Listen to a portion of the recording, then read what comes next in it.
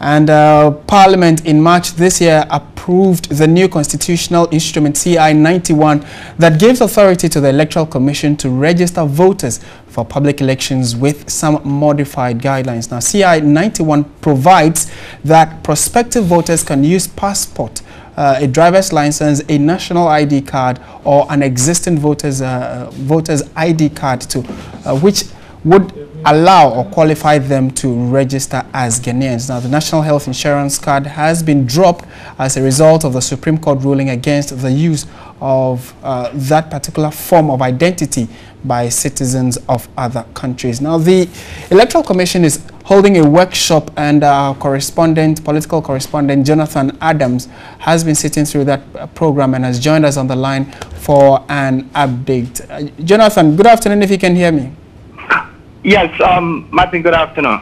Great. Uh, what can you tell us has gone on uh, at the program that is being held by the Electoral Commission? Well, Martin, the program is just being held by the Electoral Commission and is to educate journalists and the general public on the CI 91, that's the constitutional instrument 91 to um, that would actually regulate the upcoming registration, limited registration, and that of the 2016 elections. And Madam Georgina Opoku has been actually educating us, um, journalists, on the issues in the CI. But one important thing she said was that this time around, journalists would be also included in the special voting before the main voting in the upcoming election. And she also been talking about the fact that over 600,000 people are on the current uh, register, and she wishes that the stakeholders in the political arena should actually try as much as possible to educate the people so there could be a general cleaning of the voters register.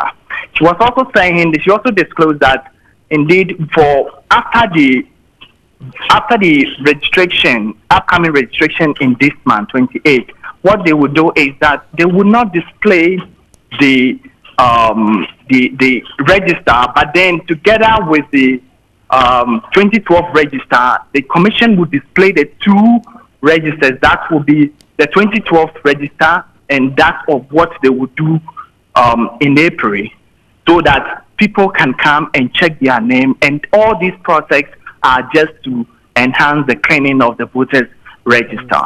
Okay. And Jonathan, before you leave, uh, did the EC touch on how specifically they are going to be conducting the special voting? Well, the, uh, she's actually yet to give us the details, the modalities of how, and other maybe um, personality or groups that will be included. But of course, she has disclosed that that of journalists will be included for right. the first time in right. upcoming um, elections. Thank you very much, Jonathan Adams, TV3's correspondent, sitting through that program organized by the Electoral Commission.